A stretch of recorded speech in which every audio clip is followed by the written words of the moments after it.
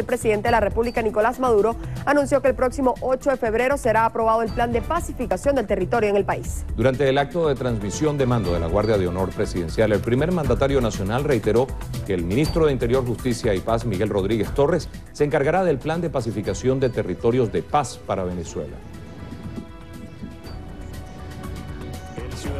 Compañero Rodríguez Torres, siga firme, ese es el rumbo. Y el 8 de febrero vamos a aprobar el plan de pacificación de territorio. Ese es el camino, compatriota. La unión nacional para construir la paz, el respeto a la vida, la pacificación definitiva de Venezuela.